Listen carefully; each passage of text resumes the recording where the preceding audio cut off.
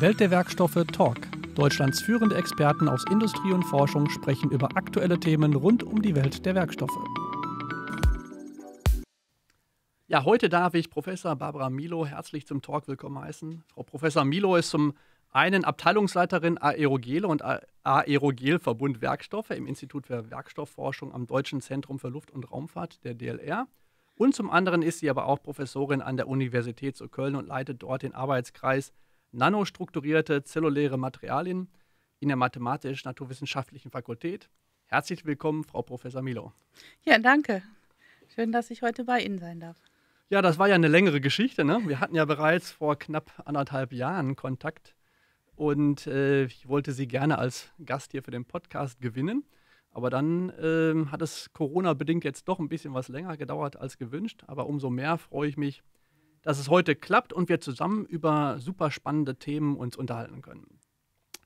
Jetzt habe ich ja in der Anmoderation schon einiges über Sie verraten, aber vielleicht können Sie dann doch noch das ein oder andere Detail zu Ihrem Lebensweg ergänzen. Ja, also ich bin Chemikerin, habe an der Uni in Köln studiert, mhm und habe promoviert äh, in den 90er Jahren. Und zwar damals auch schon am Institut für Raumsimulation des Deutschen Zentrums für Luft- und Raumfahrt. Das heißt, ich habe eigentlich fast mein ganzes Berufsleben im Deutschen Zentrum für Luft- und Raumfahrt verbracht. Ähm, habe da angefangen mit Experimenten unter Schwerelosigkeit. Ein Experiment meiner Promotion war damals auch ein äh, Experiment auf der D2-Mission, mhm. die damals mit dem Space Shuttle flog. Und ja, im Anschluss daran war ich in der Solarforschung, habe zehn Jahre mich um solarchemische Reaktionen und ähm, halt eben photochemische Reaktionen gekümmert. Da ging es um Abgasreinigung, um Abwasserreinigung vor allem. Okay. Und ähm, habe in der Zeit auch einen zweijährigen Postdoc-Aufenthalt in Spanien gehabt über das Marie Curie-Programm und habe dann ähm, ja, im Süden Spaniens für zwei Jahre gelebt und geforscht. Auch schön, ne? Ja, das war sehr schön. und äh, bin danach wieder zurückgekommen, habe eine Familie mit drei Kindern und ja, und danach wieder zurück zur, zur Materialforschung mehr und äh, mittlerweile halt eben schon seit einigen Jahren in der Werkstoffforschung und da angefangen als Projektleiterin, bin dann stellvertretende Abteilungsleiterin geworden und mache seit 2018 im Grunde die äh, Professur an der Uni Köln und damit verbunden auch die Abteilungsleitung. Jetzt für alle, die es nicht wissen, also Marie Curie ist natürlich auch schon eine gewisse Auszeichnung. Also wer das bekommt, so eine Förderung, äh, das also Hut ab äh, dafür. Und ja, wie Sie schon sagten, eigentlich äh, Ihr Leben rund um Uni Köln und DLR, kann man so sagen. Ne? So würde ich es bezeichnen. Noch was, ein kleiner was, Ausflug nach Spanien. ja, genau. Aber was ja eigentlich eher untypisch ist für, für Spitzenforscher, die dann meinen, sie müssten sich wirklich in der ganzen Welt äh, rumtreiben. Aber bei Ihnen Lebensmittelpunkt, äh, wie gesagt, mit dem Ausflug nach Spanien, dann doch immer Koller gewesen. Ne? Ja, im Grunde ja. Äh, allerdings habe ich mich ja auch mal mit unterschiedlichen Themen beschäftigt. Ja, und ja, äh, das genau. hat sich sehr gut ergeben, dass das halt eigentlich immer rund um Köln ging. Ja, ja, ja. gut, und Thema Schwerelosigkeit, Experiment in der Schwerelosigkeit mhm. läuft ja auch nach wie vor am DLR. Ich weiß, dass ich da ähm, regelmäßig immer mal wieder auch diverse Abschlussarbeiten hier betreue äh, in dem Bereich. Genau. Aber das Thema, über das wir uns heute unterhalten wollen, ist ein ganz anderes. Hat jetzt mit Schwerelosigkeit nicht so wirklich viel zu tun, sondern das lautet Aerogele.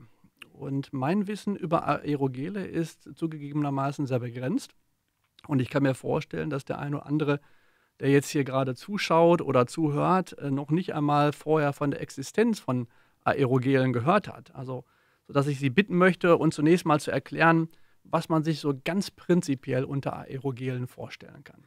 Also man kann damit anfangen, dass sie im Guinness-Buch der Rekorde stehen, mhm. dass sie das leichteste Material sind, das äh, Feststoffmaterial sind, was die niedrigste Wärmedämmung hat. Also damit sind sie eigentlich auch bekannt geworden, dass sie ein, ein sehr leichtes Material sind, was die Wärme nicht transportiert, also ein Dämmmaterial mhm. sind.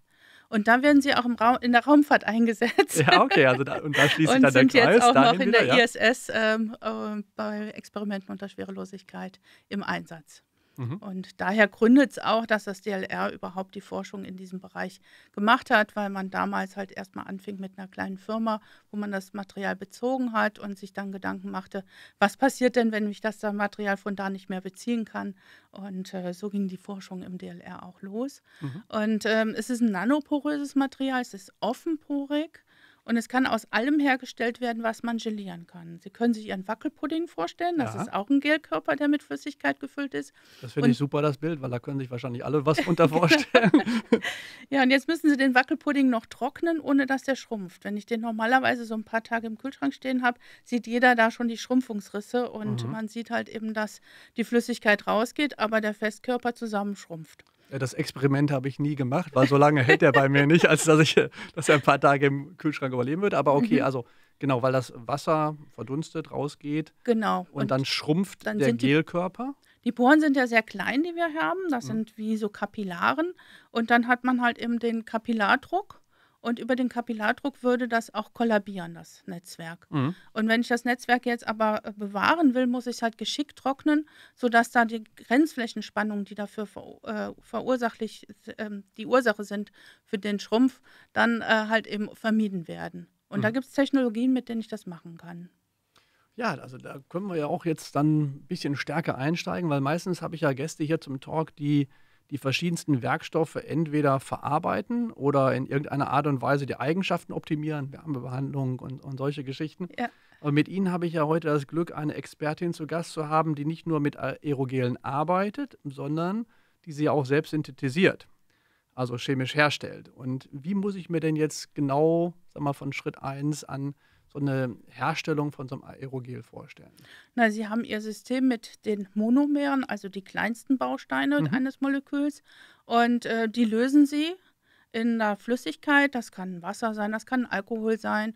Und ähm, dann brauche ich einen Katalysator dazu und äh, mische die äh, Flüssigkeit miteinander und dann bildet sich das Netzwerk. Das heißt, es findet erst eine Aktivierung statt. Also der Katalysator startet die chemische genau, Reaktion, genau, genau, die ja. meine Kleinstbausteine genau. Also verknüpft also, dann miteinander. Ich ne? habe da solche Gruppen, die halt eben OH, also Sauerstoff, Wasserstoff sind mhm. und die muss ich aktivieren. Und wenn ich die aktiviert habe, dann bildet sich über das Sa Sauerstoffmolekül, zum Beispiel bei den Silika-Aerogelen, eine Brücke zum nächsten Siliziumatom und damit habe ich ein Netzwerk gebildet unter Wasserabspaltung. Das heißt, das ist eine Hydrolyse und eine Polykondensation. Ja. Also Kondensation kennt man ja mhm. und das ist immer das, wo das Wasser dann weggeht. Genau. Und ähm, das ist im, im, Grunde so ähnlich für alle Materialien, ob die jetzt organisch sind oder anorganisch. Mhm. Und ähm, da bildet sich das Netzwerk und ist hinterher eine reine, ähm, zum Beispiel beim Silika SiO-Verbindung so wie äh, zum Beispiel der Sand am Strand. Ne? Der hat die gleiche Glas, chemische ne? Zusammensetzung oder Glas, mhm. genau, wenn es halt ein reines Silikatglas mhm. ist, ja, ist es halt eben auf jeden Fall. Man, man kann zum Beispiel auch das Glas nehmen als Ausgangsstoff und es lösen und daraus wieder so ein nanoporöses Material machen.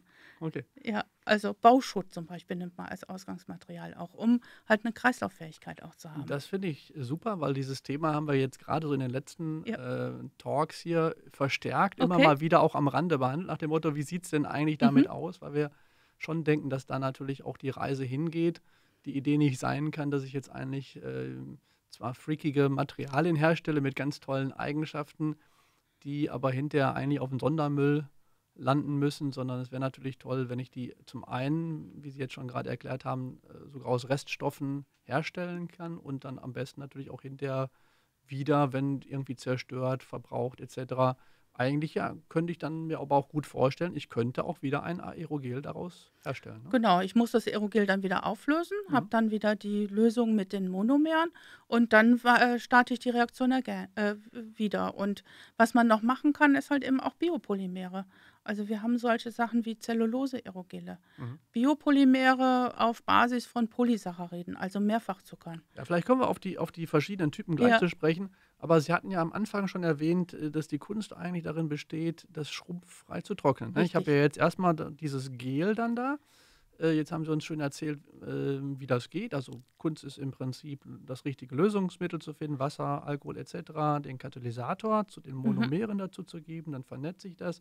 Und dann haben Sie gesagt, so jetzt geht es um die Trocknung. Was ist denn jetzt der Trick, weil wir haben ja gesehen bei der, Ihrem Wackelpudding-Beispiel, so einfach ist es nicht. Wenn wir es einfach verdunsten lassen würden, hätten wir hinterher Rissigkeiten und jetzt nicht irgendwie einen kompakten genau, Festkörper, mit dem ich irgendwie was hinterbauteilmäßig machen könnte. Im Zweifel habe ich nur ein Granulat oder nur Krümel. Mhm. Und das wollen wir ja nicht. Also wir wollen an vielen Stellen halt wirklich monolithische Körper haben.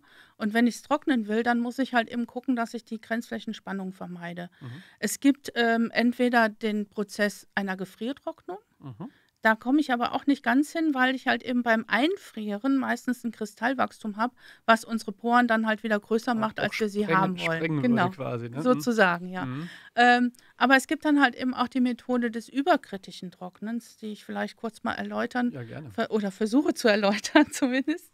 Also man hat den, ähm, den Porenkörper, der gefüllt ist mit einer Flüssigkeit. In dem Fall muss sie löslich sein in überkritischem CO2, also Kohlendioxid. Und ähm, das ist zum Beispiel Ethanol oder Aceton. Und dann kann ich halt eben das Ganze äh, im Grunde in einem Druckkessel geben, der eine Stabilität haben muss von 80 bis 120 Bar ungefähr. Und dann gebe ich das CO2 dazu und das CO2 wird so dazu gegeben, dass es schon in einem überkritischen Zustand ist. Überkritisch heißt, dass die Grenzflächenspannung Sie haben meine Frage, mein, also das Fragezeichen in meinen genau. Augen gesehen, dass ich wollte, dass Sie das noch kurz erklären. Genau. Genau, es ist weder gasförmig noch fest noch flüssig, sondern es ist wirklich ein Zustand, wo halt eben ähm, die Erinnerung des Materials weg ist, mhm. äh, sodass man halt eben gar keine Grenzflächenspannung mehr hat. Also es ist halt eben ein Fluid. Mhm. Ähm, es gibt da wunderbare äh, YouTube-Videos zu. Also für alle, die es jetzt nicht ganz verstanden haben, kann man da auch noch mal reinklicken. Ja, wir können Aber, das dann unter äh, dem Video auch gerne verlinken, damit man sich die auch noch angucken kann. Ja, mhm. super. Und ähm, dann gehe ich halt eben mit dem überkritischen CO2 im, im Kreislauf da durch, durch diesen Druckbehälter und ziehe das Ethanol oder Aceton eigentlich im überkritischen Zustand wieder raus.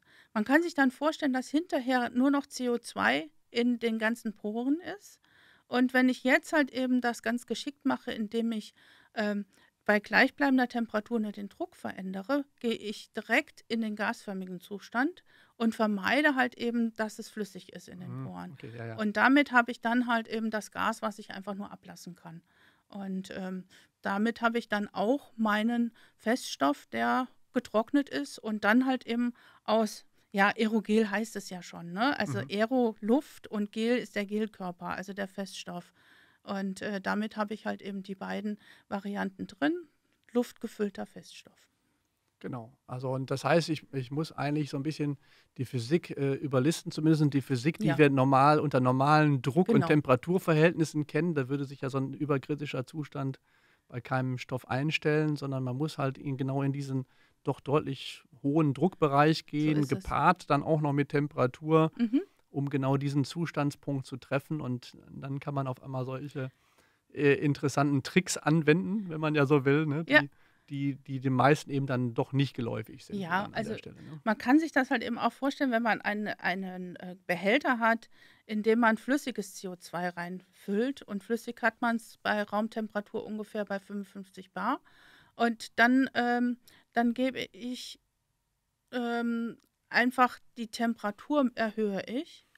Damit erhöhe ich den Druck und damit komme ich in den überkritischen Zustand, wenn ich das Volumen nicht verändere. Mhm, ja, ja, genau, weil, weil sich ja die, die Parameter auch voneinander genau, abhängen. Ne? Ja. Ne? Also ich kann und, und ich sehe dann wenn ich den Druck ändere, ändert sich die Temperatur und umgekehrt. so ist Stelle. es. Mhm. Und ich sehe dann immer eine Grenzfläche und die Grenzfläche von Gas und Flüssigkeit verschwindet einfach.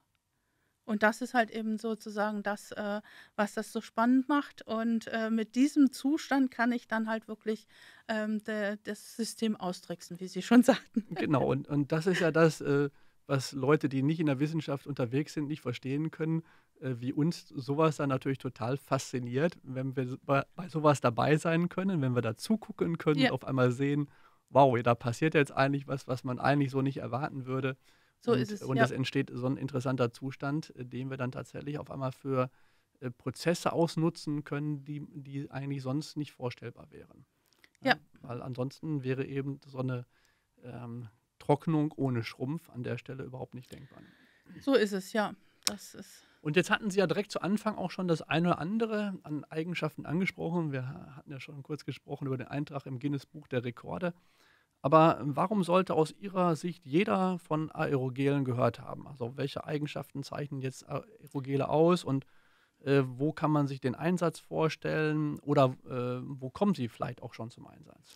Also der, der, der bekannteste Einsatz, wie ich das eben schon sagte, ist halt eben diese thermische Isolationsfähigkeit. Mhm.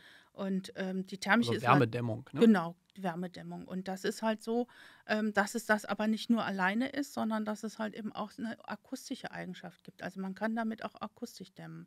Schallabsorption. Schallabsorption, mhm. genau. Und ähm, das Ganze ist halt eben dadurch ähm, getriggert, dass man halt eben eine hohe Porosität hat, sehr, sehr kleine Poren hat. Und äh, damit habe ich auch hohe innere Oberflächen. Jetzt mhm. kann man sich vorstellen, dass man diese inneren Oberflächen, die wirklich also größer als ein Fußballfeld von einem Gramm sind. Äh, von einem Gramm. Ne? Ja, also, das ja, kann man sich immer ganz schlecht vorstellen. Ja, aber, aber ne? trotzdem, damit man eine Idee hat, wie wahnsinnig das ist. Ja. Ne? Also innere Oberfläche von einem Fußballfeld in nur einem Gramm Material. Aerogel. Genau. Mhm. Also wir haben äh, Oberflächen, die liegen bei den normalen Silika-Aerogelen zwischen, sagen wir mal, 500 bis 1200 Quadratmeter pro Gramm. Mhm. Äh, wenn wir zu den ganz hohen gehen, das sind in der Regel Kohlenstoff-Aerogele, die wir aus organischen auch herstellen. Mhm. Die liegen dann zum Teil auch über 3000 Quadratmeter pro Gramm. Ja. Also, und das ist immer so eine Zahl, die kann ich mir auch nicht mehr vorstellen. Äh, das aber ist, deshalb äh, in, in, Fußballfeldern kann man sich das immer gut umrechnen, ja, weil aber, das ist so, so, eine Größe, die man noch erfassen kann. Aber ein Gramm sind äh, halt eben wenig Volumen ja. auch und äh, von daher ist es halt eben schon, schon geht das oft über die Vorstellungskraft hinaus. Ne? Genau, aber wo, wo nutze ich jetzt diese, diese Oberfläche dann Nein, aus technisch? Sie können sich vorstellen, dass man diese Oberflächen halt eben auch noch ähm, funktionalisiert. Mhm. Das heißt, sie haben eine Affinität, also die lieben einen bestimmten Stoff und würden den dann aufsaugen und können damit halt eben verhindern, dass toxische Gase sich ausbreiten. Wir haben zum Beispiel einen Anwendungsfall in der Gießerei. Wir nehmen ähm, das äh, Aerogel als Kernsandadditiv muss sich vorstellen, die, die äh, Kerne, die man in der Gießerei hat, stellen eigentlich die Hohlräume vor, äh, dar. Also genau. Also wenn man halt eben so einen Motorblock hat, besteht der ja aus ganz vielen Hohlräumen und der Motorblock ist gegossen. Um diese Hohlräume darzustellen, brauche ich Sandkerne. Die bestehen aus Sand, aus einem Binder und einem Additiv. Immer einem Additiv, ja, ja. weil man was braucht halt eben, um halt hinterher den Kern wieder kaputt zu bekommen. Ähm, und unser Additiv ist halt auf Aerogelbasis und wir setzen in der Regel Kohlenstoffaerogele ein. Die absorbieren dann die entstehenden Gießgase. Gießgase entstehen deswegen, weil sich der ähm, Binder auflöst, mhm. wenn man mit der heißen Schmelze auf diesen Kern kommt. Und ähm, die, die ähm, haben wirklich eine Funktion, dass sie 60 Prozent der BTX, also der wirklich giftigen Gase, aufsaugen können ähm, und damit halt eben die Emissionen wirklich reduzieren. Und das ist ein Stoff, der halt eben viel besser ist als alles, was heutzutage auf dem Markt ist. Und da brauchen wir unbedingt jemanden, der jetzt den Mut hat, das herzustellen und äh, dann auch zu vertreiben an die Gießereien. Ja, ja das ist natürlich, da schließt sich auch wieder der Kreis hier ja. zur Welt der Werkstoffe, ne? weil natürlich haben wir hier auch schon über ähm, Gießen gesprochen mhm. und auch in unseren Laboratorien wir haben auch ein Gießereilabor, machen wir solche Sachen auch. Also wir können gerne auch ihr, Ihren Gießereisand okay. austesten und äh, Erfahrungsberichte hintergeben. Äh, das ist natürlich spannend und äh, da sind Sie natürlich dann auch als Chemikerin, glaube ich, an der richtigen Stelle, weil es dann wieder um das Feintuning geht. Ne? Das eine ist sozusagen die, die Kernkompetenz, wie kann ich Aerogele herstellen. Mhm. Aber das andere ist dann, wenn ich sie jetzt tatsächlich für verschiedenste Anwendungen ähm, pimpen will, sage ich mal, ja. dann muss ich eben irgendeine Funktionalität noch einbringen, die sie jetzt vielleicht von Hause aus erstmal nicht hätten, sondern das mache ich dann über chemische Ankopplungen. So, so ist es, genau. Entweder chemische Ankopplung oder halt eben auch die Porenstruktur. Wir mhm. können halt eben auch kleinere und größere Poren machen. Also wir können wirklich ähm, mit der Synthese bestimmen, äh, wie die Porenstruktur innerlich aussieht. Das also heißt Mikrostrukturdesign, wenn man mit so will. Ne? Mikrostrukturdesign, das ist ein gutes Wort, ja, ja. Mhm. Also einerseits muss das Gas ja reinkommen, andererseits muss es wieder rausgehen und solche Sachen äh, bestimmen wir dann über die Porenstrukturen. Mhm. Jetzt habe ich ja gerade gelernt, dass sich der Begriff Aerogele also eher auf die Struktur und die Synthese der Materialien mhm. bezieht, dass ich über das Gel komme, als auf irgendeine spezifische Chemie. Ähm, das heißt doch dann, dass Aerogele also aus verschiedensten Materialien hergestellt werden können. Sie hatten das ja auch gerade schon immer in den Nebensätzen drin gehabt, ne, wenn ich jetzt von so der Ecke komme, wenn ich von der Ecke komme. Also vielleicht können wir das jetzt nochmal so ein bisschen aufrollen, damit das so, so ein Gesamtbild ergibt. Äh, welche großen Klassen von Aerogelen werden dann hier dann eigentlich unterschieden? Also ist, man unterscheidet zwischen den anorganischen Aerogelen. Mhm. Das sind in der Regel Metalloxid-Aerogele. Es gibt aber auch Carbonate oder Phosphate als mhm. Aerogel mhm. als Basis. Dann gibt es die organischen Aerogele. Das sind zum Beispiel solche Harzsysteme wie äh, Bakelit zum Beispiel. Das kennt man hm? vom früheren schwarzen Telefon. Ja, also ne? die also ersten Droplaste, die es gab. Ne? Genau, genau. Hm. Also da kann man es herstellen. Polyimide, hm. Polyamide.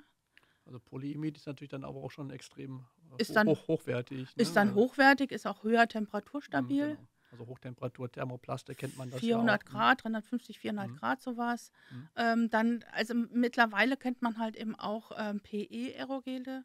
Oh Mann. Und ähm, eigentlich hat, ist man mal davon ausgegangen, dass lineare Ketten halt eben sich nicht zu einem Gelkörper äh, bilden lassen. Mhm. Aber mittlerweile hat man das halt eben auch raus, wie ich da einen Gelkörper herstellen kann und dann auch zum äh, Aerogel komme, also ein hochporöses Material. Und was brauchst du da? Brauchst du da irgendwelche Vernetzungsadditive? Äh, äh da stecke ich jetzt auch nicht so tief drin. Ja, also bei PE, man kennt das genau, ja, dass genau. das über also, Silane vernetzen kann zum Beispiel. Genau, genau. Oder über Strahlenvernetzung, aber das Strahlen wahrscheinlich jetzt eher hier nicht, ne, sondern eher chemisch. Ich glaube chemisch eher, mhm, ja. Okay. Ist auch nicht mein Topic. Spezialgebiet, von daher. Ja. Und äh, also es gibt ganz viele verschiedene. Dann haben wir alles, was organisch ist, kann ich natürlich auch in Kohlenstoff verwandeln, indem ich es halt eben mit einer Temperatur beaufschlage und dann eine Carbonisierung mhm. durchführe. Mhm. Und äh, was wir noch haben, sind Biopolymere. Biopolymere, zum Beispiel die Polysaccharide, die ich eben erwähnt hatte, aber auch Seidenproteine. Also Saccharid, das sind dann Zucker, Zuckerstoffe, also genau. Pflanzliche Zuckerstoffe. Also entweder pflanzliche oder tierische. Okay. Man hat ja auch das Chitin, Chitosan. Natürlich, ja. Und äh, da machen wir sehr viel mit. Aus Krebsschalen dann den. den ja, ja, das, den, aber, aber es ist so, äh, ne, es ist irgendwie nicht natürlich, wenn man an, an äh, Bio-Werkstoffe denkt, denkt man natürlich immer erst an pflanzlich. Aber es gibt natürlich auch spannende tierische Also bei einer Biene ne? oder so denke ich auch an Bio. Ja, ja, ja, ja, ja, ja klar. Nee, aber so, wenn ich jetzt, ja. wenn man so an Werkstoffe denkt, ne, Holz ja, okay. und, und, solche genau. Geschichten. Ja. Also wir können mhm. auch aus Holz Aerogele machen, indem wir die, die, Zellulose rausziehen. Es gibt mhm. ganz viel Ligninforschung im mhm. Moment. Und, das ist der äh, Binderstoff zwischen den Zellulose. Genau, ne? ja. Und ähm, also man, man extrahiert sozusagen die einzelnen Bestandteile und kann aus denen wieder Aerogele herstellen. Und die sind dann wirklich bioabbaubar. An mhm. der Stelle ist es dann so, dass wir versuchen mit den Chitin, Chitosan, also diese Panzer und die Shrimps, ne, die, diese Schalen, da versuchen wir halt eben jetzt auch Verpackungsmaterialien herzustellen, die ähm, den Styropor ersetzen. Okay. Also diese Kisten, die halt ja, eben ja. auch auf dem Meer schwimmen, mit einem Material ersetzen, was aus dem Meer kommt. Genau, wo, wo man sagt, ja, das, es hat ja auch gigantisches Volumen, auch wenig Gewicht, also mhm. weil es ja auch ähnliche Eigenschaften haben soll. Ja. Aber dann eben mit dem dummen Nachteil, dass es, man, man könnte es recyceln, aber wenn es natürlich erstmal in die Umwelt gelangt, äh, baut es sich so schnell eben nicht ab.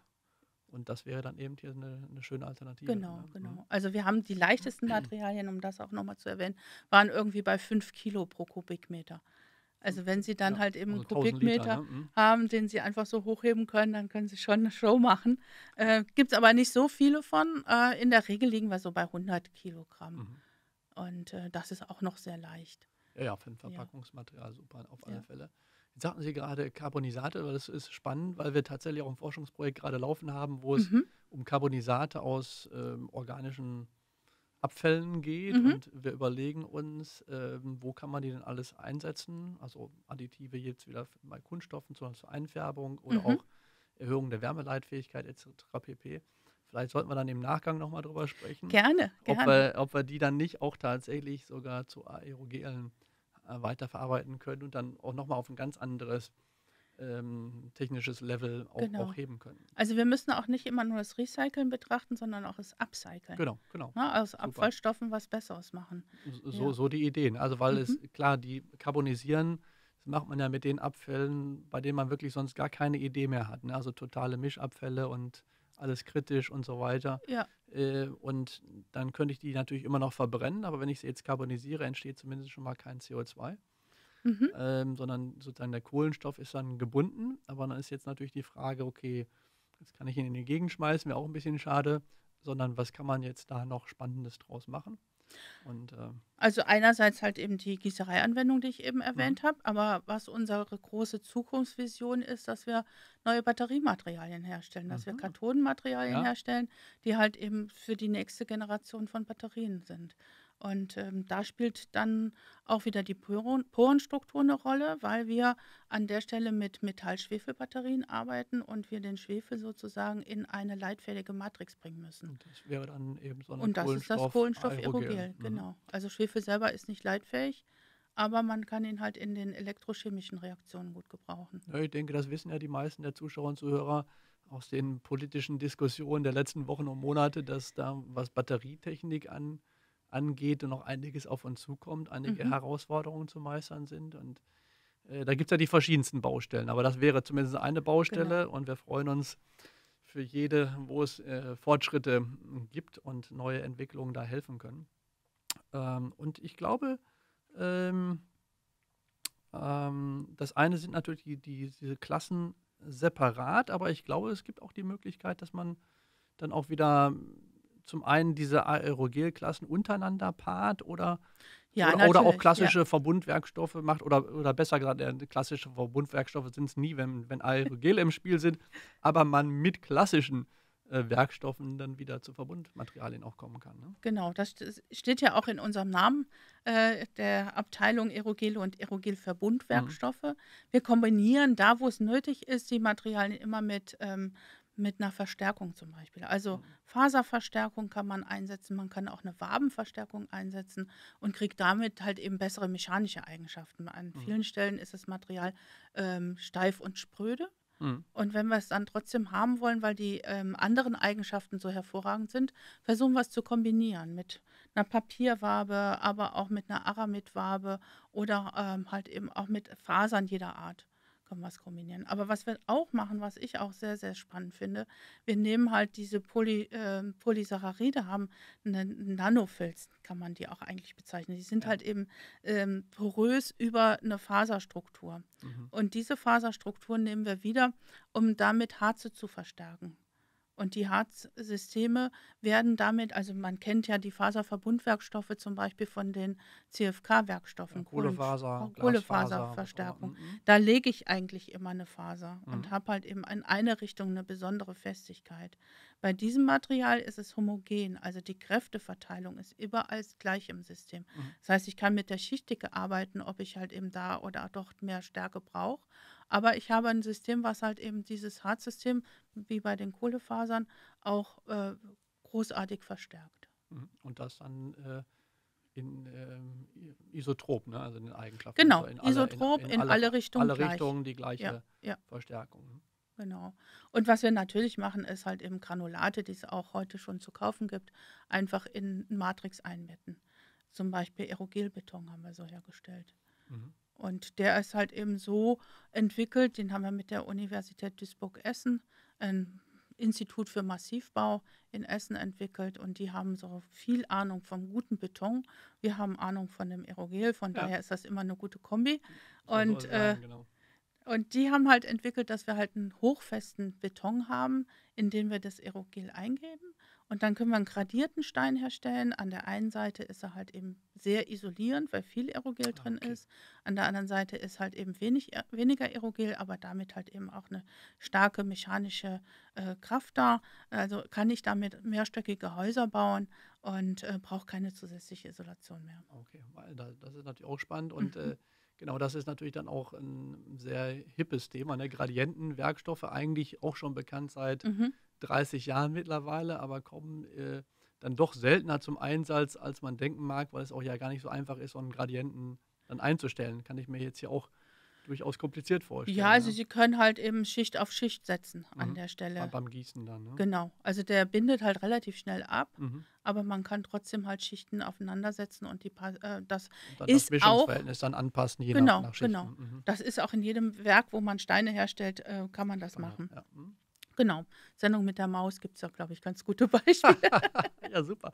Nein, aber, aber das ist das. Also wenn das Verfahren das von vornherein hergibt, dass man da sowieso schichtweise aufträgt, äh, genau. bietet, bietet sich das natürlich an der Stelle tatsächlich auch mal an, während das eben in vielen Anwendungen man sich das zwar gut vorstellen könnte, da irgendwie einen Gradienten mhm. einzubauen. Mhm aber dann manchmal fertigungstechnisch äh, einfach zu kompliziert ja. ist, das wirklich umzusetzen. Ne? Also wir denken auch, dass es erstmal nicht direkt an der Baustelle eingesetzt wird, weil es Aerogel halt so leicht ist und äh, damit halt die Verarbeitung auch manchmal schwieriger wird. Aber wir wissen ja, wie es geht. Mhm. Das ist ja genau das Know-how, was wir da mhm. besitzen. Und man kann sich halt eben Fertigbetonteile damit genau, herstellen. Genau, die, die vorgefertigten und, äh, Bauteile, die dann an der Baustelle nur verarbeitet werden. Genau.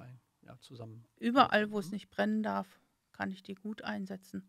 Und ich glaube, wir. Das kommt dann noch dazu, zumindest bei einigen Typen. Ja. Also jetzt ja auch Also die anorganischen alle, sind Die anorganischen, die dann auch mhm. unbrennbar mhm. sind. Ne? Genau. Also vielleicht, vielleicht müssen wir dann doch nochmal auf die, auf die einzelnen Klassen so einzeln nochmal zu sprechen kommen. Also ähm, starten wir vielleicht mal dann bei den äh, organischen Aerogelen. Mhm. Ähm, oder nee, wir, wir waren ja gerade bei anorganischen, bleiben wir da. Bei anorganischen. Was, was, was muss man über anorganische Aerogele wissen? Also jetzt haben wir schon gelernt, die haben dann den Charme, weil sie anorganisch sind, typischerweise auch unbrennbar oder generell unbrennbar? Ja, eigentlich generell unbrennbar, es sei denn, sie gehen halt eben darüber hin, äh, dahin, darauf hinaus, dass sie halt noch eine bestimmte Eigenschaft damit einbringen wollen. Mhm. Das, was ich eben sagte, wenn ich halt eben eine Oberfläche halt eben nochmal funktionalisiere und zum Beispiel ein hydrophobes Material haben will, dann bringe ich halt eben nochmal ein bisschen Organik ein. Mhm. Da muss man dann auch immer gucken, wo brennt das dann wirklich oder verdampft das dann nur, mhm. ähm, wenn es halt eben heiß wird. Also hydrophobe Eigenschaften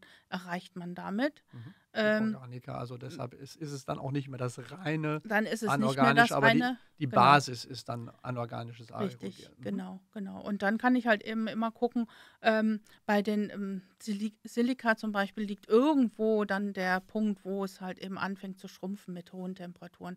Wenn ich so in den Bereich von 900 Grad und darüber gehe, dann fängt es an zu sintern, also zu schrumpfen und dann ähm, kriege ich halt eben auch meinen Feststoff, der halt eben nicht mehr porös ist. Genau, aber das ist dann eine andere Art von Schrumpfen, ne? weil es nicht darum geht, dass jetzt nur die die Flüssigkeit rausgegeht aus dem Gel, mhm. sondern tatsächlich dann schon Zusammenwachsen der, genau. der Körner passiert über ja, den Sonnensinterprozess. Genau. Ne? Ja, mhm. ja. Und dann ist es halt immer, immer so, bis wann brauche ich es denn? Ne? Wenn ich jetzt 1000 Grad habe, wie lange muss es denn da auch ähm, ganz bleiben? Mhm. Wenn wir jetzt an, an zum Beispiel Ofenauskleidungen denken, da brauche ich das. Da wollte ich ja langzeitstabile Ofenauskleidung haben. Und da bringen wir halt eben auch in, in solche äh, Refractories-Materialien, also ähm, Feuerfeststoffe, äh, Aerogele mit ein. Mhm. Da haben wir ein schönes Projekt laufen wo auch ähm, das halt eben jetzt zum Einsatz kommt. Wo dann auch wieder die Wärmedämmeigenschaften Die Wärmedämmeigenschaften äh, sind hervorragend, hervorragend genau. und, und, wichtig sind an der Stelle auch. Und ähm, die sind auch haltbarer. Also ich brauche die Ofenauskleidung nicht jedes Jahr neu zu machen, sondern die steht dann fünf Jahre. Mhm. Das heißt, ich habe weniger Ausfallzeiten, ich habe eine höhere Isolationswirkung, deswegen brauche ich auch weniger Energie. Mhm. Also heute ja ganz, ganz, ganz wichtig. Ja, ja. Und, äh, und gerade bei Prozessen, wo wir dann davon sprechen, wir haben Temperaturen bis 1000 ja. Grad, ne, wo dann irgendwie genau. metallische Baus Bauteile austenitisiert werden oder sowas. Ähm, genau, und, Stahlwerke. Ne? Genau, und wenn ich dann da eben die Energieverluste deutlich reduzieren kann, kann genau. ist das viel, viel wert. Ja, ne? das brauchen wir. Das mhm. ist einfach so. Und daher ist es auch, Sie fragten am Anfang, warum muss man Aerogele kennen? Ja. Also weil sie halt eben an vielen Anwendungen halt wirklich den, den, den, den Kick geben können und halt eben auch die ähm, Materialien so voranbringen, dass ähm, heute bekannte Met äh, Materialien nochmal einen Schub gewinnen. Also ja, ich, und, und jetzt Feuerfestmaterialien kennt man ja lange. Mhm, genau. Und, und vor allen Dingen, äh, man kann ja auch den Leuten durchaus äh, die Angst nehmen, äh, weil, wie jetzt gelernt, die Chemie, die dahinter steckt, ist jetzt keine komplett neue, komplett unbekannte, sondern es geht tatsächlich darum, wie kann ich bekannte Werkstoffe, bekannte Chemie eigentlich in mhm. diese neuartige Mikrostrukturierung bringen, die Aerogel-Eigenschaften mit sich bringt. Ne? Genau. Das heißt, ich hantiere jetzt nicht auf einmal wieder mit ganz was Neuem, wo dann keiner weiß, äh, was wir dann in zehn Jahren wieder für Erfahrungen machen werden, äh, ne? welche, welche, welches böse Erwachen dann auf da uns wartet. Da haben Sie vollkommen ne? recht, mhm. ja. Mhm. Also ich habe Wasserglas zum Beispiel als einen Ausgangsstoff, den kennen wir schon immer. Ja. Äh, immer ist jetzt äh, aber schon ja, doch schon, eigentlich. Äh, seit Menschengedenken fast. Ne? Ja, genau. Und das ist einer der Ausgangsstoffe. Und mhm. wenn ich das dann halt eben mit meinen Katalysatoren, die Zum Teil ist das Natriumcarbonat, also hm, äh, Backpulver, ne? so ähnlich wie Backpulver, genau. Ja. Äh, und, und da bringe ich ja keine giftigen Sachen mit ein. Mhm. Und damit mache ich halt eben ähm, an der Stelle ein Material, im Grunde über die Temperaturen, über ähm, Rührgeschwindigkeiten, über das ganze Prozedere ähm, bestimme ich dann hinterher die Porosität mhm. und nicht über irgendeinen fremden Prozess. Mhm. Mhm. So, das war jetzt die anorganischen. Was muss ich jetzt über die organischen wissen? Vielleicht auch gerade in Abgrenzung zu den anorganischen? Also da, da gehe ich eigentlich auch immer über ähm, zwei Materialien und da gucken wir immer mehr nach Biopolymeren auch, damit wir halt eben auch da unsere Chemie etwas sauberer machen. Mhm. Im Moment ist unser Grundbaustein Formaldehyd und mhm. Resorcin und Formaldehyd hat auch keinen das, guten da zuckt Ruf. Schon, da ne? zuckt schon der ein oder ja, andere. Ja, da zuckt, zuckt, man und äh, man weiß ganz genau, dass es nicht gesund ist mhm. und wenn man das in hohen Konzentrationen hat, ähm, kann das nicht gut werden, aber ich kann das halt eben relativ gut steuern. Ich kann es halt eben im Kessel halten und damit dringt es auch nicht nach außen ähm, und es vernetzt halt vollkommen. Mhm. Also es ist hinterher kein Formaldehyd mehr in dem Material. Auch wenn ich das verbrenne, wird da kein Formaldehyd frei. Okay, ähm, das sind schon das mal heißt, zwei wichtige ich Informationen. Ich kann garantieren, dass es vollständig ausreagiert ja. ist, auch gerade über den Prozess, weil alles andere, also ich stelle mir das vor, ne, wenn ich, wenn ich überkritisches CO2 da mhm. Dass wenn irgendwas äh, an flüchtigen Bestandteilen da wäre, ist es dann spätestens ausgespült, ne? Oder? Oder wie garantieren Sie, dass es vollkommen also ausreagiert also, im Vorfeld? Also im Grunde machen wir einen Prozess ja mit dem Sol-Gel-Prozess. Also wir bilden erst das Sol mhm. äh, und das geliert dann und ich lasse es dann altern. Also Sohllösung. Ne? Sohllösung ist halt eben mein Wackelpudding sozusagen, ja. also die Vorstufe zum Wackelpudding. Der angerührte Wackelpudding. Genau, genau. Der mhm. Und der geliert, oder wie der Tortenguss oder so, ne? Mhm. der ist erst flüssig und dann bringe ich den zu einer gewissen Temperatur, dann fängt er an zu gelieren, so mache ich das mhm. ähnlich mhm. auch. Und dann äh, ist es halt eben abreagiert. Das heißt halt eben, bevor es in die überkritische Trocknung geht, sind die ganzen Monomeren, die vielleicht da noch drin sind, entweder rausgewaschen, schon über ein Lösungsmittel, wo mhm. die dann auch recycelt werden, die Lösungsmittel, oder halt eben ist es wirklich alles abreagiert an mhm. der Stelle sodass das Netzwerk halt eben, wir, wir, wir setzen ja die Rohstoffe jetzt nicht im Überschuss ein, sondern so, wie sie stöchiometrisch miteinander reagieren. Mhm. Und ähm, hinterher in dem zum Beispiel Karbonisierungsprozess, ähm, da wird wirklich dann äh, kein, kein Formaldehyd mehr freigesetzt. Genau, ja, okay. Ja. Und, und jetzt äh, hatten wir schon gesagt, das, das wäre ja die Klasse, die man zum Beispiel für dieses Thema Formsand benutzt. Genau, könnte, ne? zum Beispiel. Oder für die Batterieanwendung. Oder dann, für ne? die Batterieanwendung, genau. Ja. Das waren die or organischen gewesen. Ja. Äh, und sind für diesen Formsand, sind das dann diese Resorcin-Formaldehyd-Kombinationen? Also die Vorstufe davon, ne? Mhm. Also wir nehmen ja die organischen Materialien und ähm, gehen dann halt in den Pyrolyseprozess und nehmen die Kohlenstoffmaterialien. Mhm, okay. Und Kohlenstoff bietet sich deswegen an, weil bei der ähm, Kernherstellung habe ich ja so ein Schießverfahren, ne? Also das Kerne schießen heißt das ja. Das ist halt eben mit viel Druck ein fluidierte Sandbinder ähm, Additivsystem, was dann in eine Form gepresst wird. Mhm. Und ähm, da ist der Kohlenstoff halt selbstschmierend, nenne ich das ah, immer. Ah, okay, ja. ne? Also wenn ich halt eben Silika habe, dann habe ich so ein, so, ein, so ein hartes Korn, was halt aneinander reibt und das verteilt sich nicht so gut. Da kriege ich nicht wirklich die Kerne. Also für die, äh, für die eigentliche Funktionalität würde das auch liefern. Ginge auch, aber genau. In, aber für die, den Verarbeitungsprozess äh, aber für die, hinterher für den Abbau der äh, giftigen Gase ist das Kohlenstoff auch das geeignete. Ist auch besser. Ja, ja immer, man, man kennt das ja auch so schon, generell Kohlenstoff, ne? als, ja. als, als guter Fänger für diverse Genau, Giftstoffe. wie Aktivkohle auch, ne? Ja. Mhm. Und dann haben sie ja die, gut, jetzt ist natürlich das fachlich verwandt, ne? also mhm. Biopolymere ist, ist ja auch eine Art von, von Organiker. Also ist dann der sag mal, die Anwendung oder das Wissen darum eigentlich ein ganz ähnliches und sozusagen nur die Quelle, wo mir meine Organik herkommt, anders oder muss ich da noch ein paar Sachen mehr mit berücksichtigen? Also äh, die Porosität sieht anders aus, also die Poren sehen anders aus, weil es nicht mehr so solche Kügelchen sind, die miteinander verknüpft sind, sondern es sind halt diese Fäden. Deswegen ist die Porosität so ein bisschen anders. Ich typischerweise mit einem faserigen Material Genau, also einfach von der Struktur her, von, von, von den Polysacchariden, das sind lange Ketten, die sich mhm. dann vernetzen über Wasserstoffbrückenbindung. Das ist ähm, ein anderer Prozess als der Solgel-Prozess. Mhm.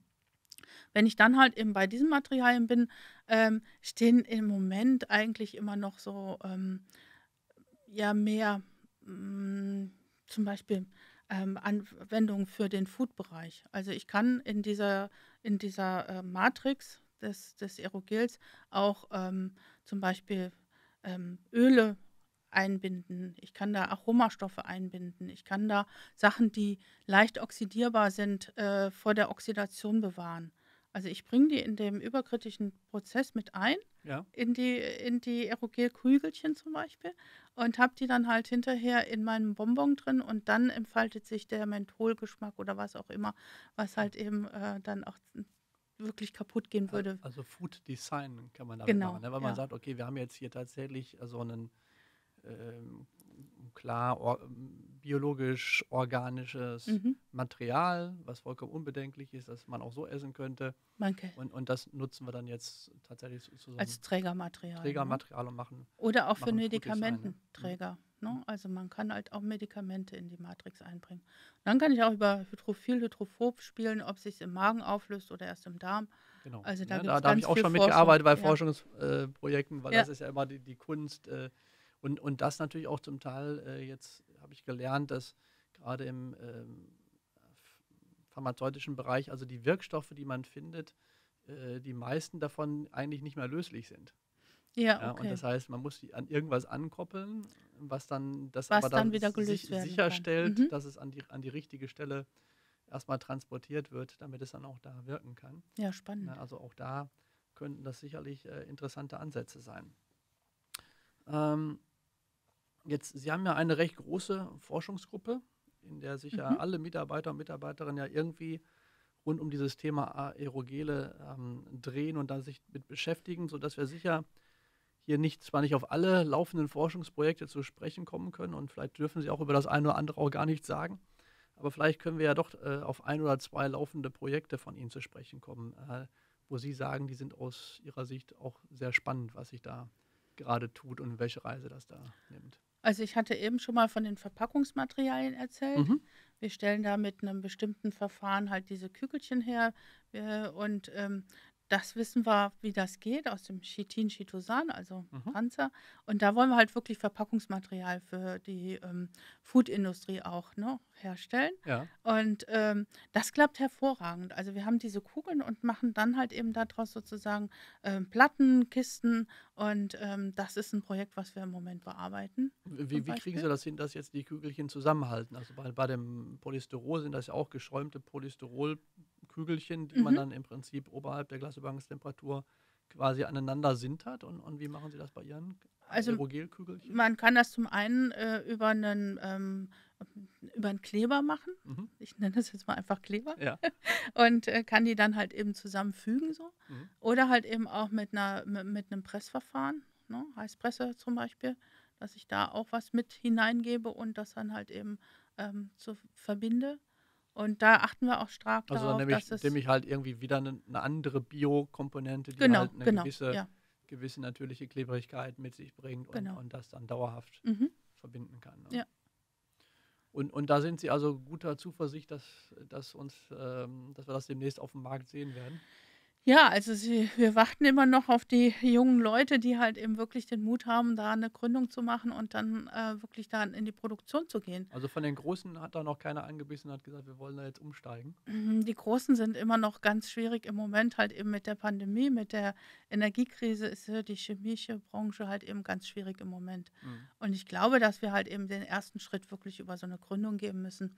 Und dann halt eben werden die Großen vielleicht auch darauf einsteigen. Ja, ist, also, ist ja auch schön, wenn sich da neue ja. Unternehmen gründen und etablieren, wäre ja auch zu wünschen. Ja. Nur manchmal wundert man sich, dass die, äh, die Großen eigentlich ähm, immer noch nicht verstanden haben, dass man in solchen Krisen auch auf ähm, neue Zukunftstechnologien setzen muss, um, um sich auch ein Stück weit wieder neu zu erfinden. Ne?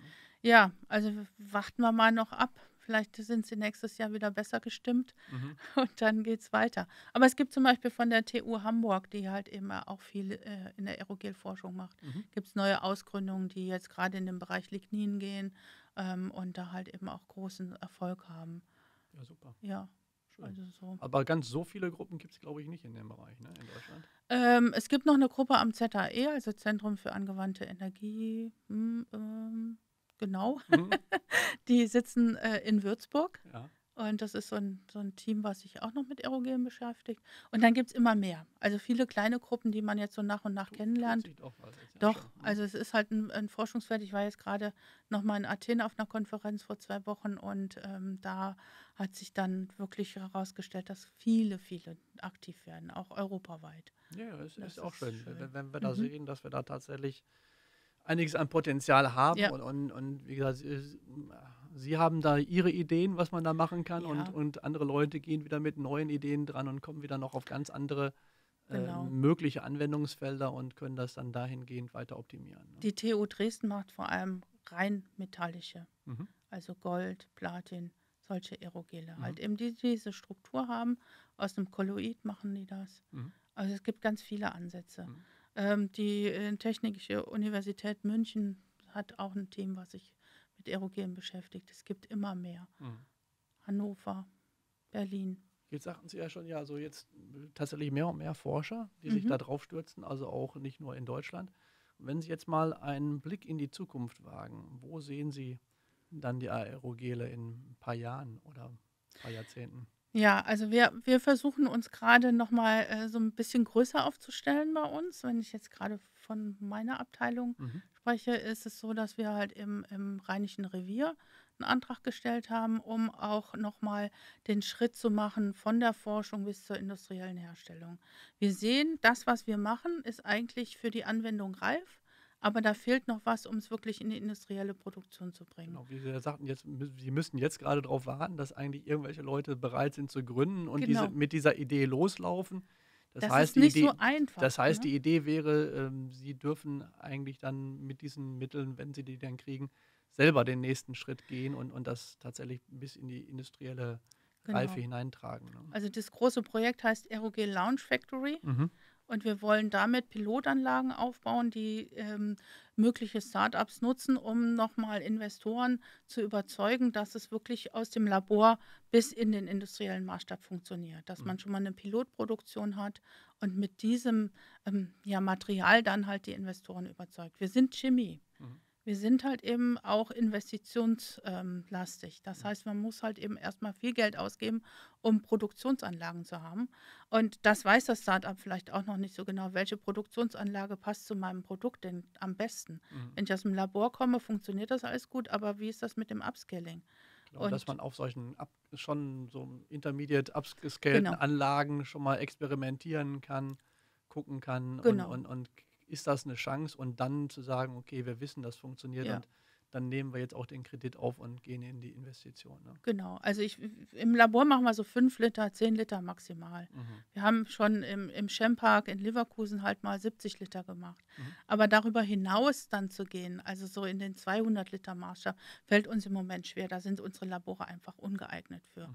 Deswegen müssen wir halt eben da auch neue Infrastruktur aufbauen, damit wir dann halt eben auch die Chance haben, da zu zeigen, das funktioniert, es geht weiter. Es gibt in, in, in Frankfurt ja die Firma Cabot, die halt eben die Aerogele herstellt.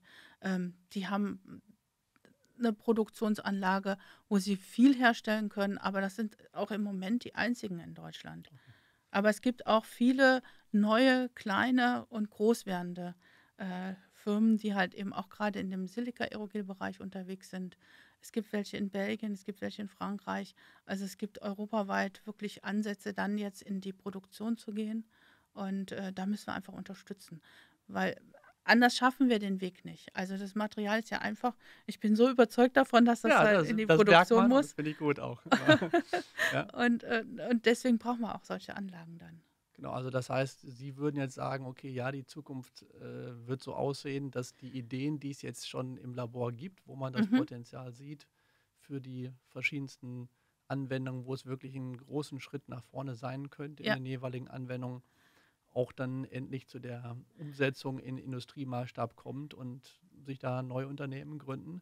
Genau, also mhm. wir bauen halt auch verschiedene Anlagen auf. Also gerade die Trocknung ist ja spannend. Mhm. Also wir wollen halt ein, eine kontinuierliche Trocknung aufbauen, die sich dann Granulaten beschäftigt. Wir haben gerade im Aufbau schon befindlich eine 800-Liter-Anlage, wo wir wirklich Bauteile okay, ja. von 90 Zentimeter äh, Durchmesser, 90 Zentimeter Länge ähm, einzeln trocknen können, also große Bauteile. Kubikmeter, ne? Ja, genau.